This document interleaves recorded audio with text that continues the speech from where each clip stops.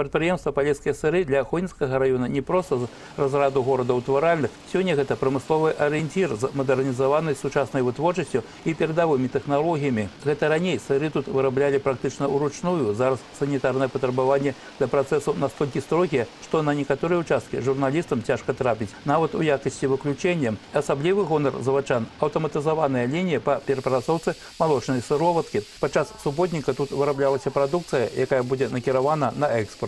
Предприятие как бы получило новое дыхание. Сегодня предприятие перерабатывает сыворотку, которую раньше надо было утилизи- утилизировать.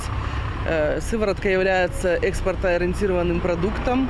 Порядка 25 тонн в сутки вырабатывается сухой сыворотки, э, которая идет на экспорт, применяется в пищевой промышленности, в химической. Бадай найбольш масавай работы ў Хонінскім раёне ў гэты дзень разгарнуліся ў вёсцы Барысаўшчына, дзе прайшоў маладзёжны суботнік. Напрыканцы 19 на пачатку 20 стагоддзяў тут быў пабудаваны сядзібна-паркавы комплекс, які зараз мае статус аб'екта гісторыка-культурнай спадчыны. Яшчэ ў 70-х гадах частка гэтых пабудоў выкарыстоўвалася ў гаспадарчых мэтах, частка як жылыя памяшканні.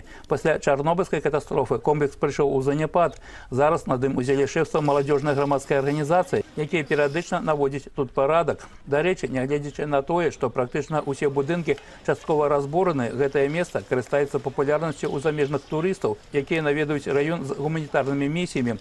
Мясцовыя ўлады сітуацыю ацэньваюць рэальна. Увесь комплекс адразу не аднавіць, але імкнуцца да гэтага неабходна. Найбольш рэальна зараз аднавіць былую воданапорную вежу, тым больш, што яна выканана ў незвычайным для гэтых мясцін неагатычным стылі. Дарэчы, з-пад вежы да ракі, якая знаходзіцца метрах у 200, вядзе падземны ход, праўда, зараз ён часткова разбураны. Нягледзячы на дастаткова дажлівае надвор'е, запланаваныя на суботнік работы ў Хонінскім раёне выканалі ў поўным аб'ёме. Тым больш, што парадак падтрымліваецца пастаянна, апрача таго, толькі адным днём тут не абмежаваліся. Па сутнасці суботнік стаў заключным этапам праведзенага месячніка. Спіс зробленага дастаткова шырокі ад адрамантаваных агароджаў да стварэння мясцовымі умельцамі, але і макету ваеннай тэхнікі. На сапраўдныя яны, магчыма, і не вельмі падобныя, але добры настрой ствараюць. Да таго ж у якасці матэрыялу ў вёсы відь па-гаспадарску выкарысталі рэчы, якія звычайна выкідаюцца на звалку. У барысаўчанскім сельсавеце кажуць, што ўвогуле ў баку ад навядзення парадку не застаўце ніхто. Нават гарадскія арганізацыі аказалі дапамогу. которые в районе у нас э, закреплены за сельским советом, жители сельсовета.